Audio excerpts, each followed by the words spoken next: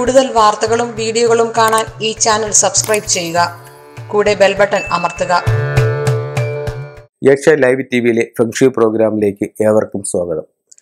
നമ്മൾ വർക്കൽ ഒരു വീട് കൺസൾട്ട് ചെയ്യാനായിട്ട് പോയപ്പോഴത്തേക്ക് അവർ വിളിച്ചു ചെന്നു. ചെന്നപ്പോഴത്തേക്ക് അവർക്ക് നേരത്തെ ഒരു ഗ്രൗണ്ട് ഫ്ലോർ മാത്രമേ ഉള്ളായിരുന്നു. അപ്പം അവർ ഒരു രണ്ട് വർഷത്തിന് പിന്നെ മുമ്പ് മുകളിലോട്ട് ഒരു ഫസ്റ്റ് ഫ്ലോറും കൂടെ എടുത്തു.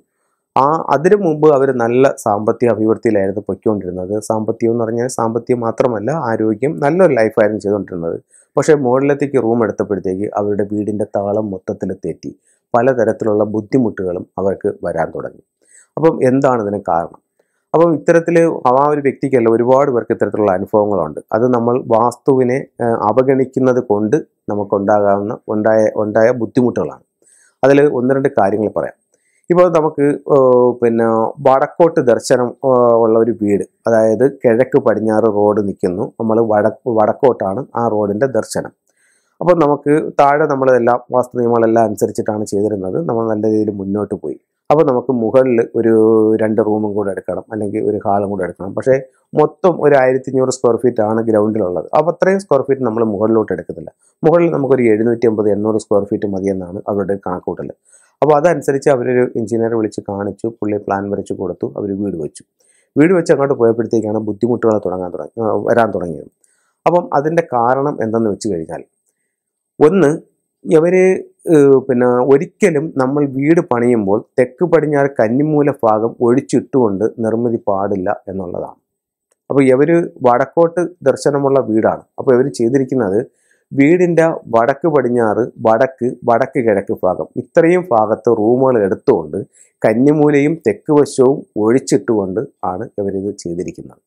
അപ്പോൾ കന്നി വീട് പണിഞ്ഞു വന്നപ്പോൾ ഇപ്പോൾ കന്നിമൂല താന്നു കിടക്കുകയും മറ്റേ ഈശാന കോണ് പൊങ്ങിയിരിക്കുകയും ചെയ്തു. വസ്തുപരമായിട്ട് അത് വലിയൊരു മിസ്റ്റേക്കാണ് അത് കഴിഞ്ഞിട്ട് രണ്ടാമത്തത് ഇവർ വീട് പണി കഴിഞ്ഞപ്പോൾ താഴെ വടക്ക് ഭാഗത്ത് ടോയ്ലറ്റ് ഇല്ല. അതേസമയം വീടിന്റെ മുകളിൽ വടക്ക് ഭാഗത്ത് ടോയ്ലറ്റ് വന്നിട്ടുണ്ട്.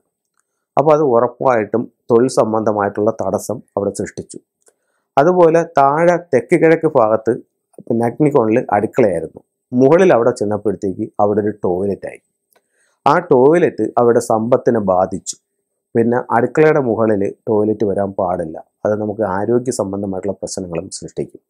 അപ്പം അവിടെ തൊഴിൽ തടസ്സമായി പിന്നെ കന്നിമൂല താന്ന് കിടക്കുന്ന സ്ഥിതിക്ക് സാമ്പത്ത് കയ്യിൽ നിൽക്കാതെയായി പിന്നെ തെക്ക് കിഴക്ക് ഭാഗത്ത് ടോയ്ലറ്റ് വന്നത് സാമ്പത്തിക പ്രശ്നത്തിന് വഴിതെളിച്ചു. പിന്നെ അത് കഴിഞ്ഞിട്ട് താഴെ അടുക്കളയുള്ളത് ആരോഗ്യ പ്രശ്നത്തിന് വഴിതെളിച്ചു. അങ്ങനെ അത്തരത്തിലുള്ള ബുദ്ധിമുട്ടുകൾ വന്നപ്പോൾ അവരുടെ മുകളിലത്തെ നില വെച്ചതിന് ശേഷം അവർക്ക് സാമ്പത്തികമായി ഒരുപാട് താഴെ പോവുകയും ബിസിനസ് എല്ലാം പിന്നെ ഡൗൺ ആയി പോവുകയും ചെയ്തു.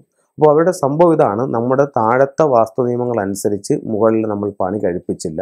വാസ്തു നിയമങ്ങൾക്ക് വിപരീതമായി നമ്മൾ പണി കഴിപ്പിച്ചപ്പോൾ അതിന്റെ ബുദ്ധിമുട്ടുകൾ നമ്മുടെ ജീവിതത്തിൽ അനുഭവിക്കേണ്ടി വന്നു. അപ്പോൾ നമ്മൾ എപ്പോഴും എന്ത് ചെയ്താലും അത് വളരെ ശ്രദ്ധിച്ച് കണ്ട് ചെയ്തില്ലെന്നുണ്ടെങ്കിൽ നമ്മുടെ പ്രോസ്പിരിറ്റിയെ ബാധിക്കാനുള്ള സാധ്യത വളരെ കൂടുതലാണ്. എന്നാൽ ചോദിക്കും എല്ലാവരും ഇത് നോക്കി കണ്ടിട്ടാണോ ചെയ്യുന്നത്? അറിഞ്ഞോ അറിയാതെയോ അവരിത് ഈ നിയമങ്ങൾ ഒരുപക്ഷെ പാലിച്ചുണ്ടായി പാലിച്ചിട്ടുണ്ടായിരിക്കാം. അല്ലെങ്കിൽ അവരുടെ പ്ലാനിൽ അതേപോലെ വന്നിട്ടുണ്ടായിരിക്കാം. അപ്പോൾ അവർക്ക് ആ ബുദ്ധിമുട്ട് വരണമെന്നില്ല. അപ്പോൾ ഇത്തരത്തിലുള്ള കാര്യങ്ങൾ എല്ലാവരും ഒന്ന് ശ്രദ്ധിക്കുക. എല്ലാ ഐശ്വര്യങ്ങളും എല്ലാവർക്കും ഉണ്ടാവട്ടെ എന്ന് പ്രാർത്ഥിച്ചുകൊണ്ട് നിർത്തുന്നു. നന്ദി നമസ്കാരം.